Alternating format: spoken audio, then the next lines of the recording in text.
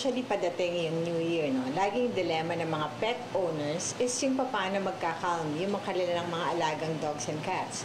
So let us all remember na ang hearing ng aso at pusa is 10 to 20 times more sensitive than humans. Are many side effects of the exposure to loud noises.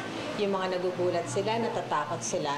So pwedeng emotional trauma, pwede rin namang physical trauma. Because halimbawa, for example, yung, yung alagang aso at pusa mo ay hindi sanay sa ganong sounds. Pwede silang magkaroon ng mga traumatic experience or pwede, nila, pwede silang mag-self-harm. So for example, ang mga aso at pusa kasi very sensitive talaga to noises eh. So pwede silang magwala, pwede silang umalis, they will try to escape. So it is very important to keep them secure during this holiday season.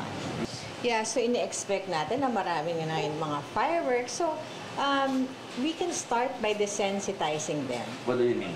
um, pwede natin silang to slowly expose sa mga maiingay or ilalabas natin sila sa bahay para ma- masanay sila sa mga sounds and unusual noises.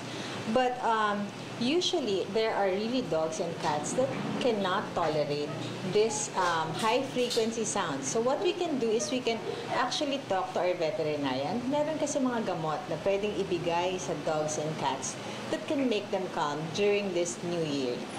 Usually, these meds are chemical drugs. No? It can be used for mild sedation, lalo na pag yung pets natin is talagang hindi nila kaya i-tolerate yung napakalakas na sounds. So, may mga pets kasi talaga na very sensitive to it, pero may iba naman na kaya nila yung ganun Oh. kaingay. And then, yung sa mga, especially sa mga cats, no, we recommend to really keep them secure.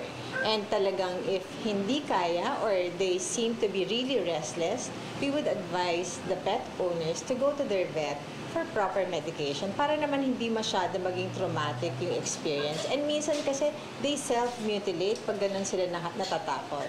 Totoo yung nag-self-harm sila. And of course, one of the um, risk factors during New Year celebration, lalo na yung mga naglalabas ng mga pets, is for example, yung mga chemicals from the fireworks, di ba syempre maglalakad sila sa labas, so kung may mga residue, and then madidilaan nila yan. So that's one way of being um, intoxicated with this um, certain substances.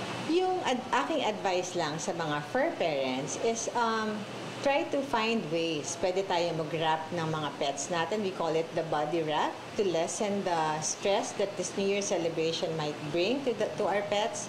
And of course, yung security na hindi sila makakalabas ng bahay during the celebration.